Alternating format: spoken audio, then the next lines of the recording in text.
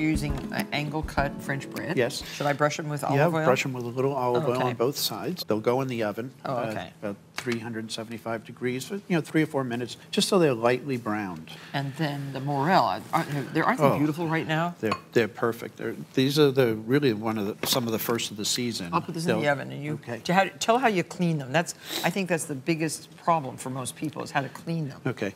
Well, as we know, mushrooms are mostly water, so uh, water and cellulose. So what you want to do is, uh, if on the outside you just brush them with a uh, paintbrush uh, or a light brush. Yeah. Um, trim off the very end if it's woody, and split them in half to make sure that there's no little creatures Do you inside. wash them? I don't wash them. I just brush them with a paintbrush. Oh, okay. You know. So here we have a whole cup ready for Yep, you. And we have some butter that's already melted. So we're going to add, let me put this up a little bit. So we're going to add the morels that we've cut in Mm. half. With the shallots. So just like a, tea, a tablespoon of shallot. Yeah. So the season for these beautiful little gnome-like mushrooms is uh, April through June. Yeah. Um, and uh, I love finding things like that. I have a little patch of those in my woods too. I'm not telling you where those are. Nope. It's really special. We'll have to follow you now. Yeah. And just season it with a little black pepper and a pinch of salt. So they exude a little bit of moisture, don't they? A little bit. Um, you want them, you know, that's one of the great things about when you're buying morels. You want them to be um, not dried out, but you want them to be firm. Plump, okay. Uh, if they- if they're too wet, then they, they also have a, uh, they get a bitter flavor, and they Oh. also uh, let out too much moisture. And then I like to deglaze it with cream sherry as opposed to some of the other wines. Mm. And the reason for it is that the cream sherry has a nice smokiness to it. Oh, you know, And I, I, have forgotten about cream sherry. I used to drink this. I did. I, I thought it was so good. Uh, what's what's the famous one that? I guess it's this one. Harvey's. Yeah, Harvey's. Harvey's Bristol cream. Bristol cream. I forgot all about that. And then once it comes So down and you see it, Oh, if you don't have it's- morels, excuse me, if you don't have morels, You can use Any wild uh, mushroom? Any wild mushroom. You could even uh, use some of the, the wood type cultivated mushrooms like shiitakes. Um, we're just going to add just a little bit of cream uh, in Oh, honor to of Jim James Beard. so you called him Jim, yes. and uh, and I, remember meeting him and um, and talking to him. And he was such an enjoyable character, well, full of information and joviality, wasn't he? And, and, and the most generous, no, generous person with knowledge that you, I think you could ever meet. He, um, you know, he just, he just loved talking to people. He did. So we're going to switch over to here, which is the morels with a little bit of cream that's been added to yes. them, which we're going to add just a little of this cream. okay. And then to this, we're going to add the fava beans. So why do chefs love fava beans so much? Oh. It takes so much preparation. They're just tasty, right? Well, and we have people that do it for us. Oh, really? Don't be afraid. If you see a fava bean in the store, it doesn't look anything like that because it's in it's encased in two skins. A Two big skins. thick one and then a thinner, difficult one to remove, right? Okay, and then what it was the? Oh, that was the Oh, that was, I'm sorry, that- and we added Oh, the, the ramp wild ramps, which have that wonderful sweet garlic flavor. Yes. And then what we're going to do here is we have the finished product. Yep. Um, the toast. I just took it out. We have the oven. toasted Yeah. crostinis, so we're going to put those down. We have the spoon. This just goes on here. Oh, so tasty. And, and a little bacon on top. Well, it depends. If I'm making it for my daughter, she's a- new vegetarian, Oh, so we don't get bacon. I won't have any bacon on mine. But what is this cheese? This is a Vella Jack, which is this great cheese from the Sonoma Jack, um, Oh. from the Vella Cheese Company. Oh, okay. And it's specially aged for about 18 months. Swiss chard has large green leaves, sometimes ribbed with red, sometimes with orange, yellow, rainbow chard it's called. Very, very delicious summer vegetable. And combined with slow roasted caramelized tomatoes, feta cheese, and onion, Swiss chard makes a delicious filling for a frittata, which is one of my favorite brunch dishes, and I make frittatas over and over again. Let me show you how. Cherry tomatoes, make sure none of them are too soft. One teaspoon of fresh thyme leaves, two cloves of garlic smashed, just put those right in the dish. Salt and pepper, a little bit of brown sugar for caramelization, just a half a teaspoon, and two tablespoons of olive oil and balsamic vinegar. Now these go right into a preheated 325 degree oven for about 40 minutes. And now you can heat your pan. This is a 12 inch non-stick frying pan and you need a lot of oil for a frittata. Soften the onions in about two tablespoons of oil and I'll probably add a few more. So heat the oil, slice your two big white onions, approximately a quarter of an inch thick. These can go right into your skillet. I like big chunks of onion in my frittata. You don't want to brown them. You want to soften them. Don't forget to sprinkle always with a little bit of salt and freshly ground black pepper. Looks like a lot of onions, they cook down. Now the Swiss chard, the stem should be cut into about half inch pieces. And keep those a little bit separate. They're gonna go in first, and then the leaves themselves are just cut into about half inch pieces too. You can make spinach frittatas. You could do kale, but the Swiss chard has um, a very nice flavor all its own. And while these are cooking now, break your eggs. Now, are you ready? 18 eggs for this size pan. Oh, and I even have some guinea fowl eggs. Look at those. Very different from a chicken egg. See how pointed the guinea fowl egg is? Perfectly interchangeable with regular chicken eggs. So just whisk this up. But you don't want it too frothy. You want a fluffy, but not necessarily frothy omelet. For the fluffiest frittata, whisk together the egg mixture just before making the filling. You don't want your eggs sitting around. That looks good. So for this particular frittata, we don't want to really caramelize the onions. You could, but I like the little bit of crunch of the onion. And these are such sweet onions, they taste really good, just cooked like this. Now add your Swiss chard. First the stems, and let those cook for a minute or so. Now add your Swiss chard leaves. It's about six to eight ounces of Swiss chard, including the stems. So just let the leaves wilt a little bit. You don't have to cook them way, way down. There, that looks really pretty. And now all 18 eggs. You want to set the eggs in the bottom of the pan. A little bit more salt. Altogether, you're going to use less than a teaspoon of salt in this frittata and a little bit of freshly ground pepper. And you can take a rubber spatula, just pull the edge of the frittata away from the pan. So a little bit more of the egg goes down the sides. In Spain, where I learned these techniques, it was over a big wood fire in the yard of the hotel we were staying in. Oh, so delicious. That looks very, very good. Now, place your tomatoes right into the egg. These are the cooked tomatoes. You want these everywhere so that every slice will have some tomato in it. And the feta cheese. And I'm using about three quarters of a cup of feta cheese. Let that cook a little bit. Your oven is preheated to 425 degrees. And we're going to put this right in. That's going to take 15 to 20 minutes to cook. Yummy, yummy, yummy. That is a frittata. Colorful and extra tasty. Now, frittatas can be served hot, right out of the oven, warm, or at room temperature. A lot of people even like them cold. Now, take a sharp knife and cut into wedges and serve. Oh, doesn't that look really good?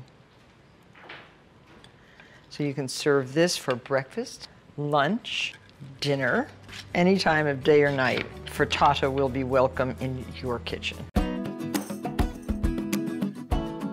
This smells so good. I'm standing here smelling this fantastic lamb. Oh, well, now, what you. cut of the lamb is it that you're using? This is the shoulder. Uh, we're gonna use a shoulder cut. Uh, still has some rib bones in there, which is Yeah. great. It's the ideal cut for this. You know, there's Yeah. plenty of substitutes. We could use Right. uh, a piece of leg or, or even a shank, but uh, this yields really great results. And and delicious. It's tender, isn't Yeah. it? So this is the shoulder. Uh, and what we do is we're just gonna add a little bit of paprika, fennel seed, and uh, nutmeg into some canola oil. Oh, okay. Yep. So I'll just put, pour that in for you. Now, um, what was your um, inspiration for this particular spring menu? Well, you know, lamb is, uh, everybody loves lamb. Uh, and I was just kind of looking for a little bit of a diverse uh, kind of uh, cut and uh, technique to. Do you serve it in the restaurant? Yeah, yeah. Oh, so, good. so Oh, this is uh, we serve this in the restaurant. You know, lamb chops are, are lamb chops, but I wanted to do something a little more exciting, a little different. Uh, so we kind of incorporated this technique with this cut. So it's not a fatty cut. It's a very nice cut.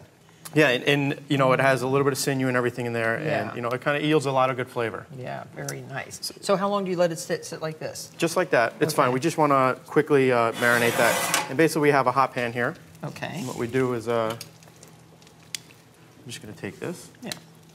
and basically, we want to sear it on all sides. Okay. Should I pour this on this side too? The Yeah. leftover? Yeah. Don't waste this fabulous stuff. Okay. Yeah, so basically, we would just bring this in here, and we'd sear it on all sides, which would bring us to this. I see. Okay. Yeah. So, uh, So how long does that take? Like No, 20 minutes or something? yeah, it'll probably take like uh, 10 to 20 minutes, Okay. depending on you know the size. Basically, you can just put this. You're going to use this pan for everything. You can keep reutilizing the pan, so you kind of develop all the flavor in the Oh, bottom. okay. So uh, we're going to remove this really quick, and instead of using like a rack or something like that, we're just going to add all of our vegetable and aromatics. It's going to add flavor. It's going to caramelize some sugar, Right. some carrots, onions. We have celery. Lots of red onions. So do you like red onions? I do. I do. I think that uh, they add a little bit more oniony flavor to everything. And Uh, thyme too? Yeah, we have some thyme sprigs. And I'm going to go with some beef stock here. We can use chicken stock, but beef stock's a little heartier. Uh, you know, lamb has a little more of a strong flavor. Now, I love the flavor of lamb in the springtime, and, and the way you mix it with all the vegetables, the fava beans and the onions and the wraps and all those things, spring Yeah. onions. It's uh, it's really delicious. Well, it kind of stands up to everything. It- You know, it's, it's got And people like to have a rustic cut of meat, actually. I think. I do personally. I think it usually yields more flavor. Uh, and you know, you can you can make this a day ahead of time, so you know you can prepare. It's uh, a little less stress. You know, if you're going to prepare this.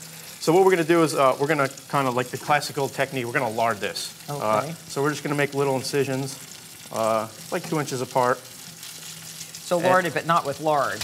Right, just larding, meaning we're gonna insert some uh, flavor inside the meat. And we have some rosemary, and I actually brought some spring garlic.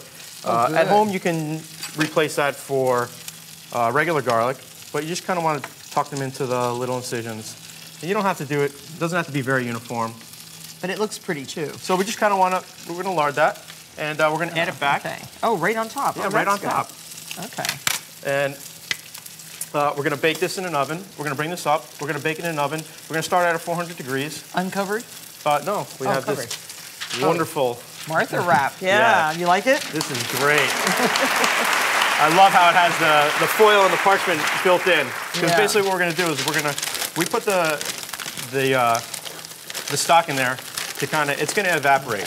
So the fat's going to drip out of the lamb. It's going to evaporate. It's going to create flavor, Excellent. moisture, vapors. Uh, so we're going to bake this in the oven for 400. We're going to turn it down to 300, and it's going to take three and a half to four hours. And we got to let it rest for at least two hours. It's very, it's a crucial part is to let it rest to let all the oh, juices okay. recirculate. Okay, two hours. Okay. Yeah. So you have to really plan your roasting time so that you don't have people sitting around for four hours waiting for dinner. The which- trick to this is planning ahead. Yes. So uh, we're going to add onions and fava beans and other nice spring-like additions. So, um, so Yeah, so we're gonna start with spring. Onions. I'm such a huge fan of onions. They Oh. just they have so much flavor, And and, they they can develop so many good, don't yeah they? so many different elements of flavor. And uh, I think it's yeah that one. Some something over there is clicking. all right, it's good. So basically, we can take these. We can leave about an inch, inch and a half on the green, and we would just quarter those. It's always important to look for uh, a variety, some Oh, red, yes. some cipollini, some spring onions. And while you're doing that, I'm gonna peel some fava beans. I have a unique way of, of the way I like to peel them. Oh yeah. so you peel them raw. Yeah, I like to peel them raw, take them out of the skin. We were having a big dispute yesterday about this. So yeah, you just want to kind of get in the little nook there. and You just dig out the skin, Okay. and These are these are uh, an amazing bean. They taste so am- so delicious, but but it's not the whole bean that you eat. You only eat the inside of the green. So this this this uh, casing goes away, and then where Yeah. where's the little nook and cranny? the little nook right there. Oh, right there. Yeah, like the little. Okay, because we parboiled them and they seem to peel faster, but you don't like to do that. No, I, because it, you know the least cooking possible, the more Okay. sweetness they retain. So Okay, there. it's uh Okay, maybe it is where the, that little nook and cranny is the secret. yeah. so okay, so here's some onions. Yep. So we have the onion. So we have a nice hot pan, uh, a little bit of canola oil, and basically we kind of want to char and caramelize the onions. Okay. So Now, do you do you have a wood burning stove in your restaurant or? we have uh, no, we have uh, kind of like a hearth. Uh huh. So you do actually want a hot pan, Okay. like a smoking hot pan. The reason we use canola oil because olive oil might burn.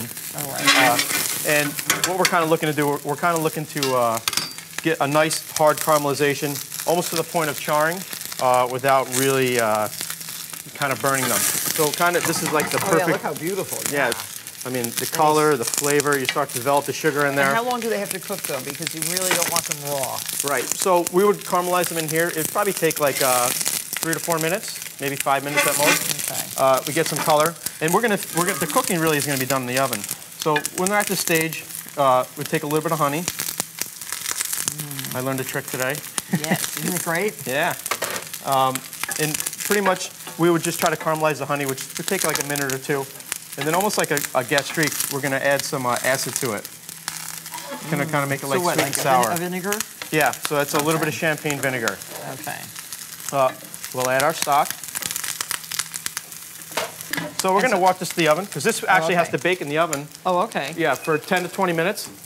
Oh, and look at the look at those fantastic fava beans. Yeah. Oh, So take a nice hot pan again, uh, a little bit of shallots. We're going to caramelize the shallots really quickly, and we're going to add our fava beans. We want to get a little bit of color on there. so beautiful.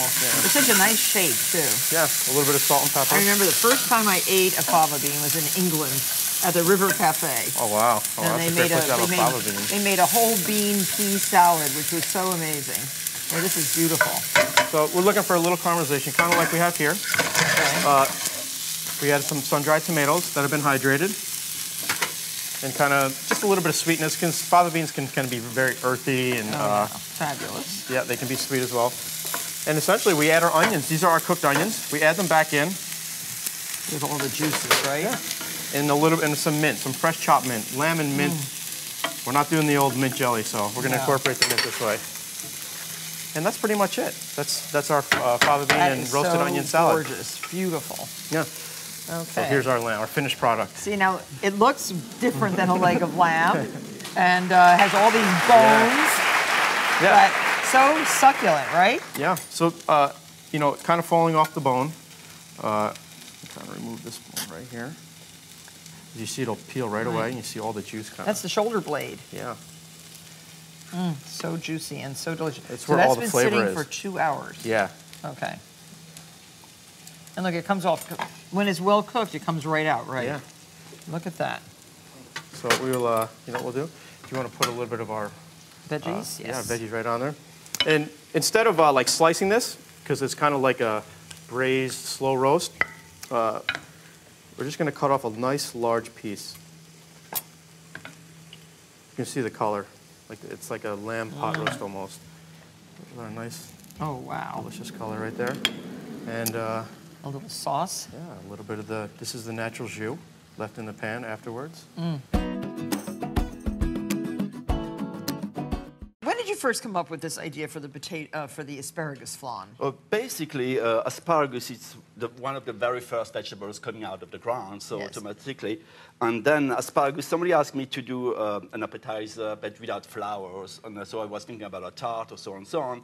And why not doing the flan from the asparagus in a in a So in a it's sort of like a little custard. Exactly. Asparagus custard, Custard. with asparagus on top. On a uh, small little poached uh, quail eggs on top of it. Right. And Pierre is uh, just a genius at making the small individual uh, hors d'oeuvres, which are quite filling. And if you eat six or eight of Pierre's uh, hors d'oeuvres, you've Oh, really a- had dinner. meal, yeah, yeah. And uh, so, what else would you suggest uh, serving for a great outdoor party? Oh, basically, you can do. Uh, I like to do a bean salad as well on a croutons or whatever you can prepare in advance as well, because you don't want uh, spending your time In the uh, kitchen. in the kitchen Right. once you have a party outside. Right. So it's all little oh, chicken, chicken with a plenty of herb salad and everything served on croutons or things that you can eat. Basically, it's hand food. And yours are, are generous size without being too big. They're all bite sized. They're bite-sized, And yeah. they are utterly delicious. And uh, Pierre um, uh, collaborated with me on my new entertaining book, which is coming out in November, November 1st. Uh, you're all going to just oh, be so excited when you see this book. Aren't you going to be excited? Definitely, I can't I'm wait. Very excited. Definitely. It's like me having another baby. it's really an amazing, amazing accomplishment. And your recipes and, and all the food that you helped me prepare, just so beautiful, Pierre. Thank you so much. So, um, is there anything you should avoid making for an outdoor But party? uh, avoiding as well is definitely uh, things who don't can stand too long outside, neither or warm food or food who deperish fast. So basically, you have food who after a couple of minutes defaded, who don't look that nice. So. Uh, you know, it's very. It's mostly food you can stand, uh, Stand outside a little while. a little Right, while, right. exactly. Not in the bright sun, though. Definitely I wouldn't not. put any any food in the bright sun. I just I'm always moving uh, umbrellas around people's tables. tables. So let's get started with the flan. So we're going to do the flan. So basically, we have a bunch of asparagus. It's approximately 16 asparagus in a bunch like that. They are medium size. We're going to cut them in three uh, different. Uh, so we're going to have the head of the asparagus. The down here, the The tips. tip. Yep. That's the, go- we're going to decorate with uh, with those. Then Pierre we're going. comes from Alsace. Yeah. And we have plenty of beautiful asparagus. What do you call the there. tip of the asparagus in Uh, Alsace? Pointe d'asperge. Oh, so Pointe. it is. It's a point. uh, Point, Asparagus exactly. points, yeah. So the middle part, I would say something like the two inch, uh, th- uh, two and a half inch of the middle of the asparagus, nice green part, we're going to save them and cut them in small little pieces. The end part, we're going to just chop them in uh, big pieces, something look like a half an inch. Uh, and we're going to do the flan with the those parts. Oh, the very end so the, part you is make, you're going to you're going to puree that. exactly. Okay. We're going to But uh, only the green parts. uh, Exactly. Unless they're white asparagus, then you could do all white. But, you can do it with all white as well. down exactly. the bottom. On, yeah, the tough part, basically, this part you eliminate it, and you have approximately yeah. this one. So if you need a bit more, you need approximately a cup of, of uh, this one. We have less on the salad. So, we're going, just going to pour in- them in olive In oil. olive oil. Okay. Nice and warm. So we're just going to sear them. With a little salt and pepper? and salt, yeah.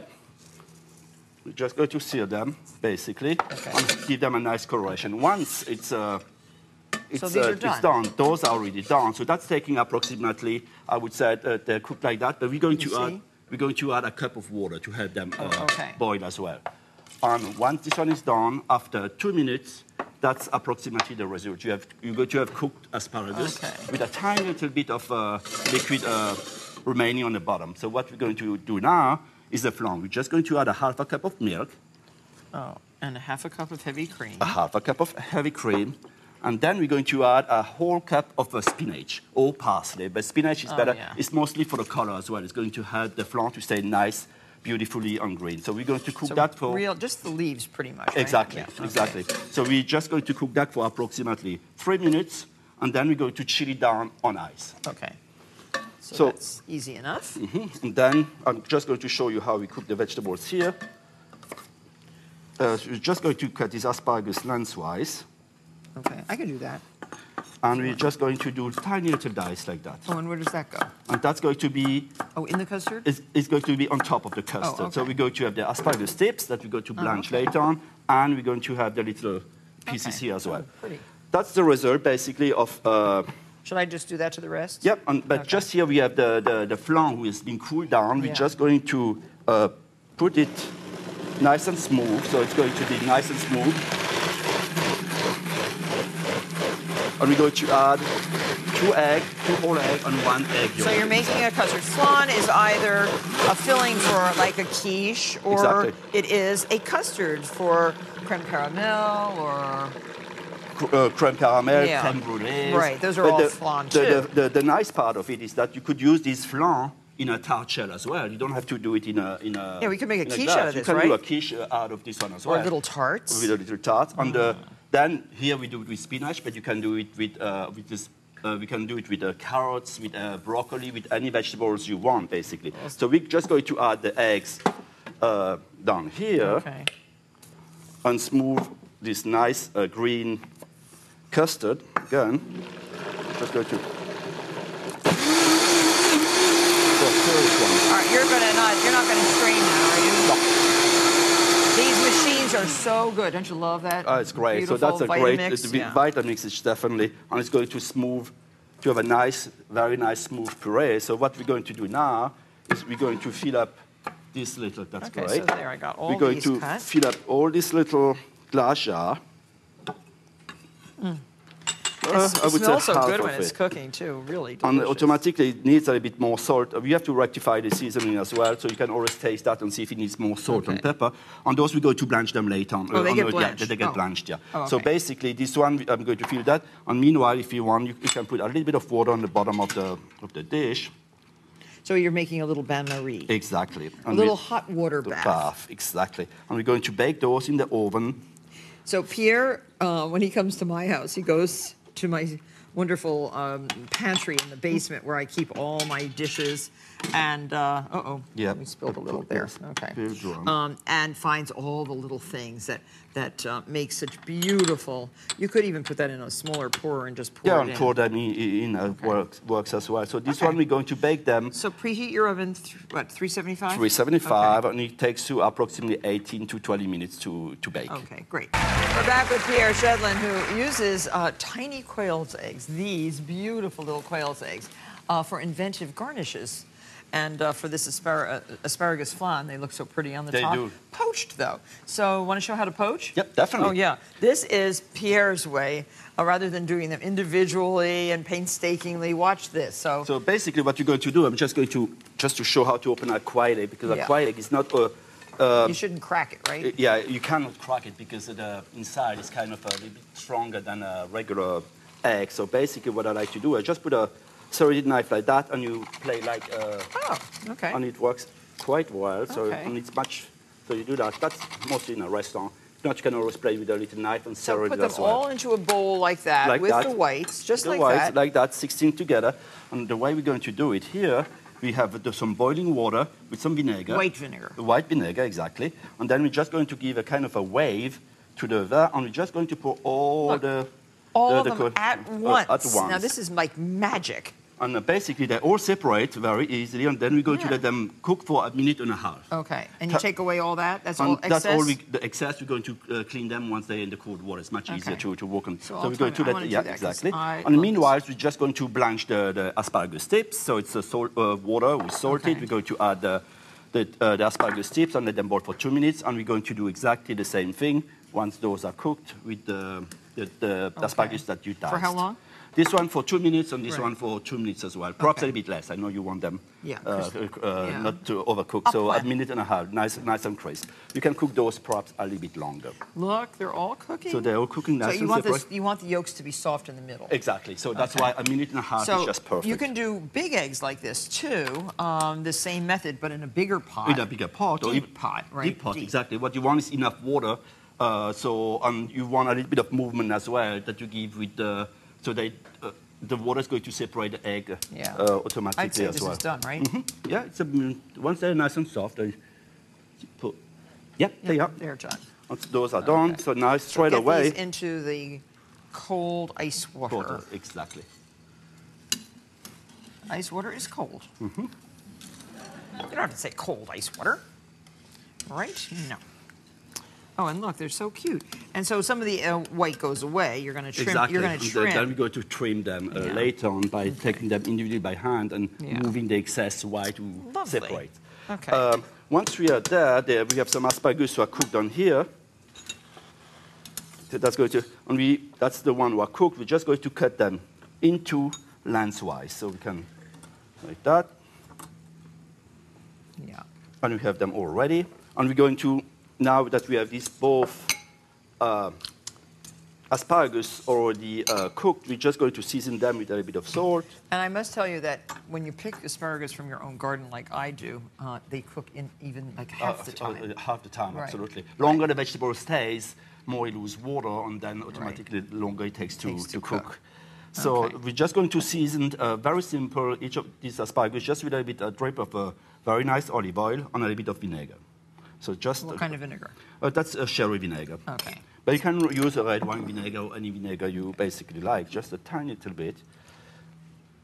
And here we go. Just going to season both of uh, those Salt vegetables pepper, and salt and pepper, exactly. Pierre's vegetables are always ultra delicious because he takes the time to season each one Mm. separately, individually, and uh, and it's it's good. Yeah, so, so- here's our flan. So here's our flan, exactly, who came out as well. here's so here one. the, the, the, the, the asparagus, that uh, the, part, the eggs that we clean, so you just take them out Do you like clean that. them even more with scissors or you can not? clean them with scissors, exactly, Yeah, and just- have them nice and I just take I do it by hand, Little skimmy. and all the skin, exactly. And then we need And now we're just going to drop them down here. I have them nice and Okay. and here. Yeah, you don't want any of these little drippy Exactly. things. Exactly. So basically, once we are here, we have this flour just came out of the oven. You want to let them set for, let's say, uh, 10 to 15 minutes to just get to room temperature, or you could serve them cold as well, it Mm-hmm. works just as well. Now we're just going to decorate uh, this uh, little flan with some of this asparagus salad on top. See how pretty these are? And then you must have little spoons. You can use little bone spoons or um, even the little, um, uh, I, I love to use those mother of pearl spoons Oh, too. definitely, yeah, it would work perfectly for that. We put the little eggs each time, like a little nest in the middle. so cut and it. you can cut them as well. So the, the nice uh, all yellow part Oh, is yeah, coming look nice how and pretty. nice. Uh, oh, gorgeous. And we're just going to play afterwards with this little asparagus, like that. and we just have, you cut that one. exactly, Oops. Mm-hmm. There. so the color comes nice and on. So here we beautiful. So here you have the So we have the- asparagus flan, which are perfect. And what a great first course this is, too, for a, a luncheon. You could do um, double um, the amount in a slightly larger Oh, you can do it larger custard one, or, or or even serve it as an appetizer Right. in a bigger bowl, Right. and eventually put a, uh, a chicken egg and put more we're having asparagus. dinner. and, We're having dinner for my friends from and Thailand. that- and that They're going to have this. Definitely could be okay? a good, uh, definitely a good idea. It's on Thank you. With Joey Campanaro of the newly opened Kenmare restaurant, where they have a wonderful salad on the menu made with artichokes and hearts of palm. My daughter ordered it. I ordered it. We loved it. So uh, Joey has agreed to show us how he makes it. Now this has um, both uh, raw and fried artichoke slices. Exactly. I want. I really wanted to emphasize the difference in textures. And raw artichokes have this texture that is just a bit resilient. And once once you break right through it, um, it it's. Uh, I think it's a very unique texture for a salad. And to add crunch to it, we also fry the artichokes. Look at this. And Joey's going to be making this salad for the christening of his new nephew, Michael. Yes. Michael, and he's the godfather. So congratulations. Thank you.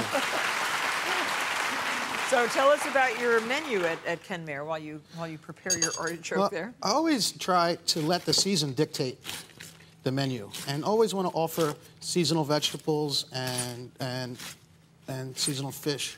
So you're trimming uh, the stem, you're trimming the the, uh, the whole bottom of the artichoke. Well, the outer the outer uh, dark green parts. What do you think of the artichokes this season? They seem very nice.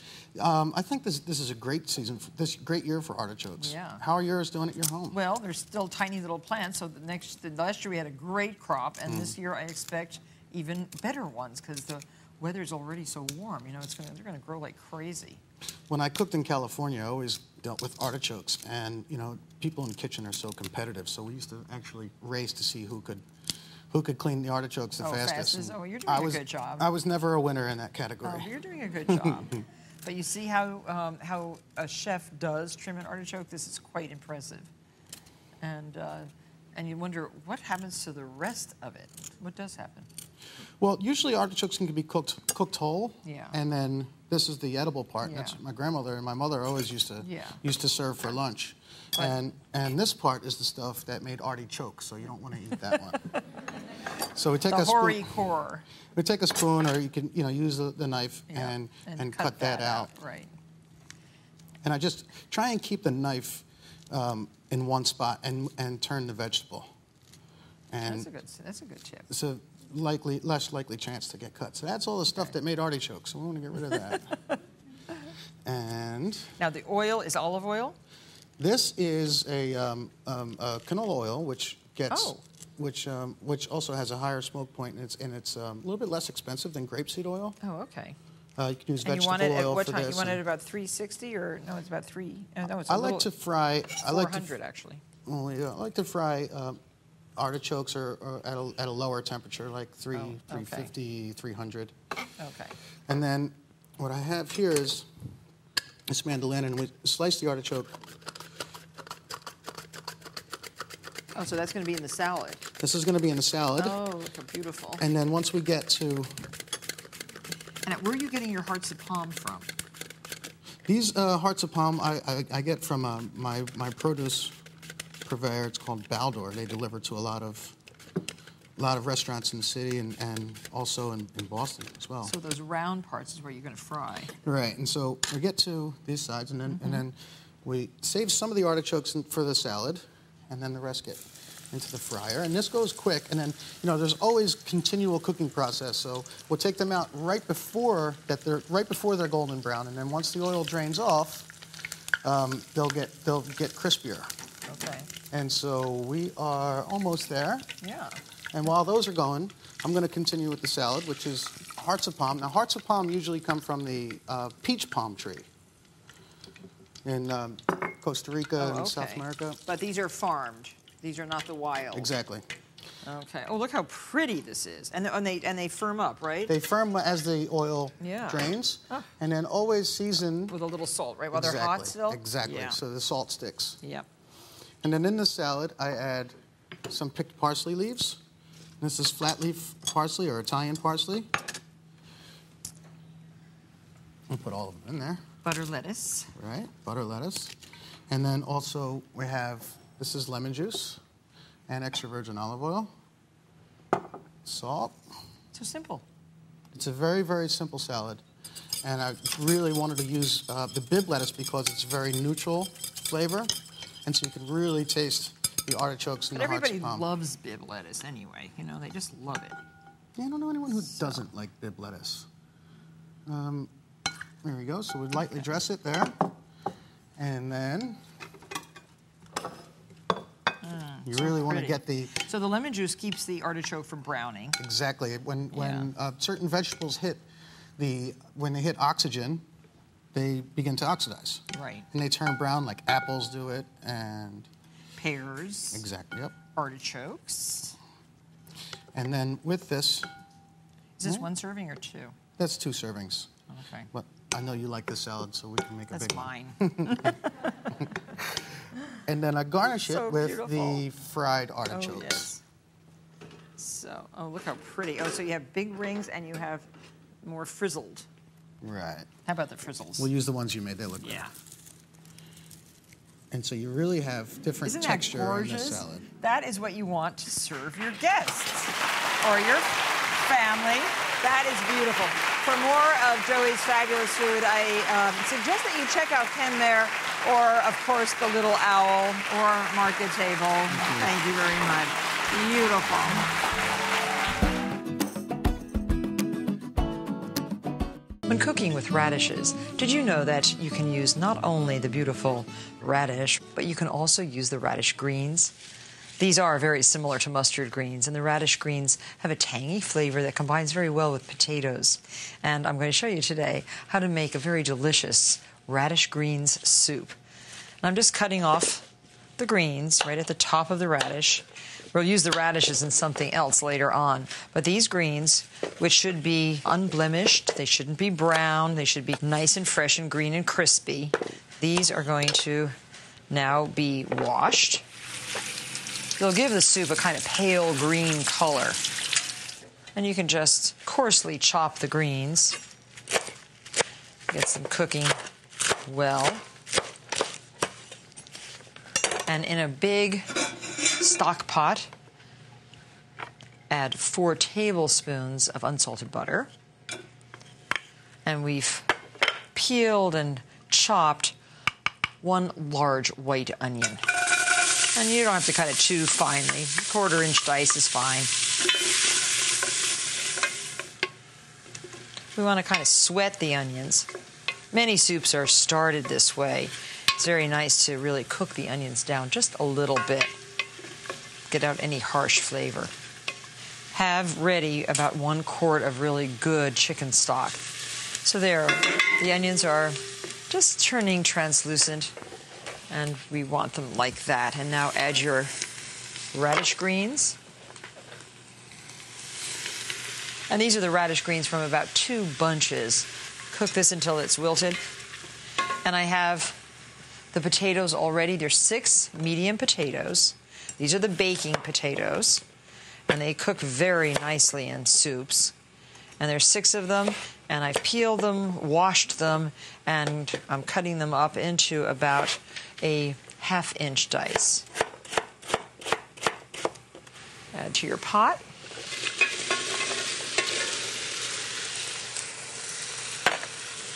You can stir these around with the onions and the radish greens just until they're warm. And you can add your chicken stock. Four and a half cups. You can add a little bit of salt and a little bit of freshly ground pepper, too. Bring it to a boil, turn it down, simmer it until the potatoes are really tender, about 35 minutes. We have one already cooked here, and it does smell very, very good. You can see that the greens have turned a dark green. The potatoes are tender. I'll just poke it with a knife so that you can see. Just very, very tender. And they're ready now to put through a food mill. I want to show you in two steps how to make a very, very fine soup. This is the way the French chefs do it. They will pour their soup first into a food mill and run it through. This is a great tool to have in the kitchen. Fit the mill with a fine sieve, not ultra fine, because you want to get through as much as you can. Well, we're done, I think. Scrape the bottom of the food mill. So you can see you can serve this as a wonderful vegetable if you like, or just enrich it with a little bit of heavy cream or half and half. But these pureed soups taste much better with a little bit of heavy cream. So I'm going to add a half a cup of heavy cream. And if you find that it's still a little bit too thick for your taste, thin it out with just a little bit more of your chicken stock. This looks like a nice consistency. Now, you can heat this up, serve it just like this, or put it through the very fine cone shaped chinois.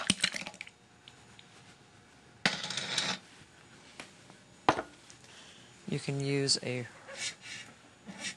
rubber scraper or a wooden spoon that helps push, but this is coming out, oh, very beautifully.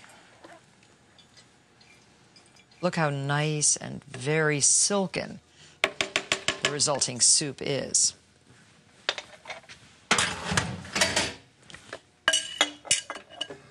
And while I wait for it to warm, I'm going to create my garnish. I already have picked some chervil leaves from the stem. You could use chopped parsley or even basil if you like. And I have my radishes here, and I'm going to grate my radishes, making sure that I get lots of the red skin. And this will be beautiful topping the soup. Smells very good. Make sure you make lots of grated radish. And now, before you put your simmering soup into the tureen, warm the tureen. It's just a nice little thing that I always make sure I do so that the soup stays piping hot. Just fill your tureen with boiling water. Cover the tureen if you like. Let it sit for a few minutes. Dump out the hot water and pour the beautiful simmering soup into the tureen. And take it to the table. So then when you lift off the top of your tureen, not only does the aroma come out, but a beautiful cloud of steam. And most delicate and flavorful radish green soup. Sprinkle a few chervil leaves here and there. And a little sprinkling of radish. And you have a beautiful, flavorful, delicate, unusual radish green soup. Next, I'm going to show you two more very simple radish recipes. Into some salted water, put one pound of linguine. I like dried linguine. This wonderful De Cecco is great. A nice imported pasta. And for springtime, I can't think of anything better than making spring vegetable linguine with fresh peas and fava beans, all the things that are really good in the early spring garden. And this one's enhanced with fresh ricotta cheese and some shavings of parmesan. It is a really good pasta, and if you got it in any restaurant, you would be thrilled. So why not make it for your family? It's really good. Now you're going to blanch in some salted water about one cup of fresh peas. This is one pound of fresh peas shelled, and it comes out to about a cup. And I always put, oh, about less than a teaspoon, maybe a half a teaspoon of sugar in the pea water. It just does something to the flavor. We've already cooked our fava beans. Fava beans are a shell bean. Let me show you what they look like. This is what they look like when they're really nice at the grocery store. If you see these big beans, they look, oh gosh, what are you going to do with these? Well, when you open these up, and it's kind of fun, everybody was in the kitchen shelling the beans yesterday. You shell them like this. They have a hard shell, kind of tough shell, and you parboil them. And when you finish parboiling them, they look like this. These are still not peeled. Then you slip off the skins. Inside is a shiny, dark green, tender bean. These are delicious. The peas are almost done. I think that's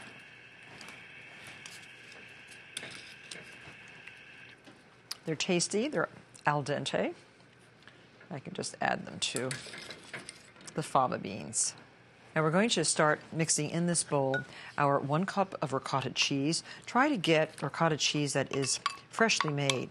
If you're on a diet, you can get the reduced fat ricotta, but the whole is whole milk is really tasty. And you want a half a cup of grated Parmesan cheese mix this together.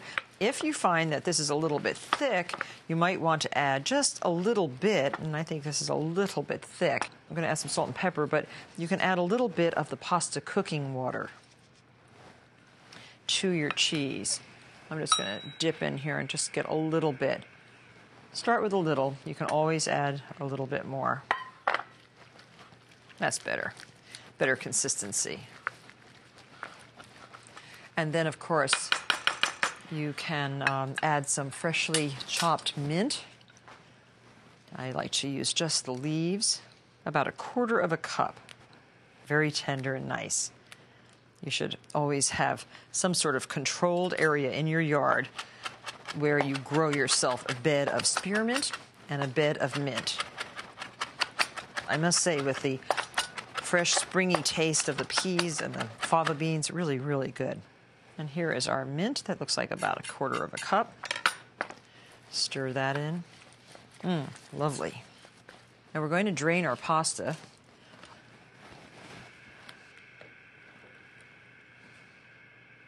We don't want to overdo this linguine.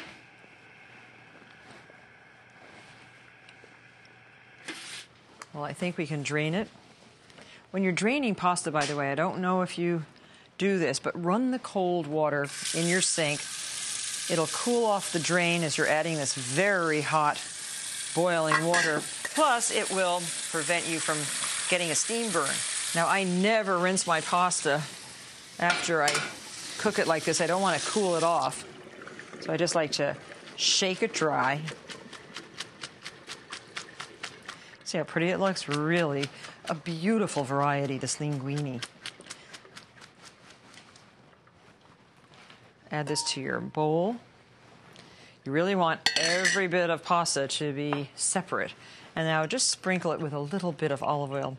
About one or two tablespoons will do. You can now add your ricotta mixture.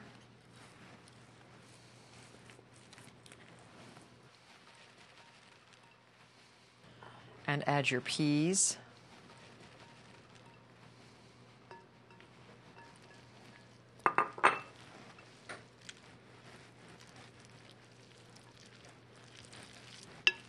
And you're going to want to add a little bit more Parmesan cheese in the shape of curls or strips for additional flavor. But if your cheese is well flavored, peas and beans well cooked, you will certainly have a delectable pasta.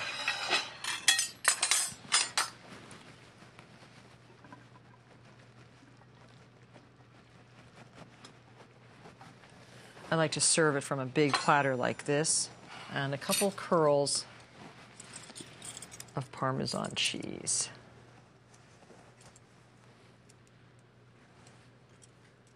And you can do this right at the table too if someone wants a little bit of extra cheese. You just use a little vegetable peeler like that. And what I like to do too is a few pieces of mint. So everybody knows that there's mint in there.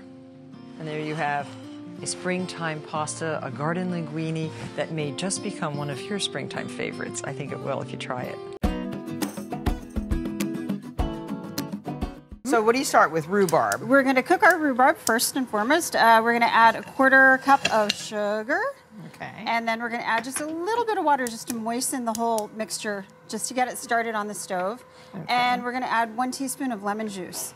And we're just going to cook this until it softens, basically. And it takes about five to seven minutes. Um, and you really, we just want to take the rhubarb down to the point where it's it's just complete mush. So because- like this? Exactly, because Okay. what we're going to do now is we're going to um, we're going to go ahead and put it in the Okay. in the blender right All right, here. here's So thank you. And then you have to start heating the cream too, right? Yes. And and we always like to cook our fruit whenever we're making a fruit-based ice cream. We always like to cook the fruit down um, to get rid of some of that water content. Right. Even though we started with a little bit of water just to moisten it, that'll cook out really quickly, and then that'll reduce the water in the ice cream, and it'll make a creamier ice cream. Okay. cream. And then after that's blended up, we would just put that in the um, in a container and chill it down in the fridge. Okay. We're gonna. Um, Heat up uh, one and three quarters cup of heavy cream. Okay. And then we're gonna add three quarters cup of milk. And in this recipe, we're actually using half a cup of honey. Um, we don't always use honey in our ice cream recipes, but I felt like this was a really nice combination of honey and rhubarb. And um, we actually, uh, I think there's a picture somewhere of uh, the hives that we have on our, our rooftop at Oh, Bi-Rite look. Market. Uh, Oh, yeah. Right in San Francisco? Right in the middle of the city. Don't it's you pretty love cool. that? Yeah, Oh, it's so it's great. neat. And we start out with two hives. Is this your honey that you brought? Um, it isn't. I should I should have thought to have You brought it. should have. I Oh. know. I'm sorry. We'll send some along, and then we're gonna. Oh, add no, a- I did, I did. Oh, you already added it. I'm sorry. I added the salt. So basically, we're gonna bring that to a simmer, um, and then we already have a simmer going right back here, and we're gonna bring this over. Should I put it on the pad? Um, oh, and scoop it in? Yeah, Okay. and we're just gonna. What we're gonna do now is what uh, we call tempering our eggs. Okay, you can whisk and I'll pour. Yeah, and so I've got five egg yolks right here, and we're what we're doing is we're slowly raising the temperature of the egg yolks so that we don't curdle them when we cook them over the Right. stove. So we're just bringing up that temperature just a little bit at a time, and then that's probably good. And then what we can do is we'll just put this back onto the stove. Thank you. Oh, and cook it until it's and a then custard. yeah, we would cook it until it's a custard. And what you're looking for when you're cooking a custard is you want this to be thick enough for it to coat the back of this uh, spatula. Right. And we have that here. Yeah, and that's And the do you think people one. really understand what that is? So when you do this, you just take your finger and that does not close up. That's, exactly. That's what they're A- talking a clear about. path. Yes. Yeah. Okay. Okay. So the next thing we're going to do is um, we would have gotten two cups of rhubarb puree from this amount. We're going to use one and a half cups um, to add to our actual ice cream base, and then we're going to save that last half cup as a swirl at the very end. Oh, okay, so this one looks like it's ready for the Yeah. swirl. Yeah, exactly. So we're- how long did it take to freeze? Um, you know, it, it usually takes about 15 minutes, 15, 20 minutes on a tabletop machine. Um, Ooh, look how good. Can we put that in there? um, we, what we're going to do is we're going to put this in our chilled container, Oh, okay. and then we'll swirl it in. Oh, okay. So just take this. Yeah, we're just going to put that in there, and after So we put all the ice cream you- in, then we'll So do what a do you freeze your ice cream in? What's what shape? In what shape? Yeah. Um, well, we we serve our When you make it at home like this, you usually put it in a in a loaf pan like this. Um, yeah, that For or easy a quart container from the, you know, I, Okay. I have access to a lot of quart and pint containers at the creamery, so I can okay, use so those. th- But that's a great shape. It's so- nice and easy and to then scoop. add a little bit of your rhubarb. Oh, I Just- love. And then swirl that in, and that just gives a nice reinforcement of the flavor. Yep, and keep stacking Yeah, it up. exactly, exactly. Oh, so beautiful. And Yeah. here we have one that's all ready to scoop. Right for our Martha sundae. Um, And so we're this gonna, is fun too to have the right ice cream scoop. And this one, you know, do you know that, that your hand actually warms it? This is the scoop that we use at the creamery, Oh, actually. do? Yeah, and I and I Oh. believe that everybody's getting one of They these today. are. Yeah. Everyone is getting a beautiful scoop. perfect. And then, oh, it looks so pretty with that Yeah. swirl. Isn't that nice? I like yes. that, that reinforcement. And so, and then, and then, we're just going to do some strawberries on top. And then um, we just toss the strawberries with a little bit of honey. Mm. Um, and then I like to leave that at room temperature just to really uh, bring out the juices and it, it just adds so much are flavor. strawberries ripening in California yet? They're starting, just Oh, starting. And then we're going to do um, some whipped cream. And we've added a little bit of um, vanilla bean to this. Yes, how pretty. Which is really nice. and I have to taste And this. me if this is the Martha sundae. Sunday. This is the Martha sundae. If We're you, gonna. if you go to Bi-Rite, do they do they get a discount? We didn't think of that. Well, you can raise the price and then give them a discount. there you go. That's there you go. Mm, is this good?